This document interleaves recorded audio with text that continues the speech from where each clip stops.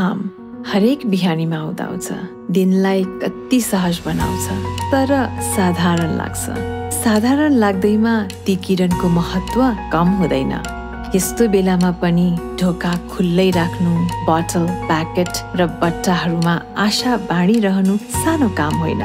आफै मालिक अनि सबै काम आफै। सबैको ढोका बन्द हुँदा मन र ढोका खोल्ने यिनै। भन्दा सामान्य भए पनि खास छन् यी आशाका पसल।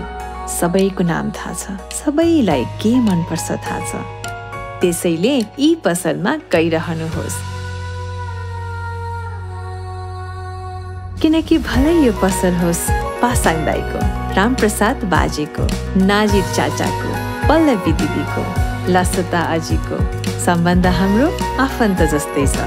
जसले यस्तो अवस्थामा समेत हामीलाई आशा बाँडिरहे तिनलाई साथ दिइरहँ।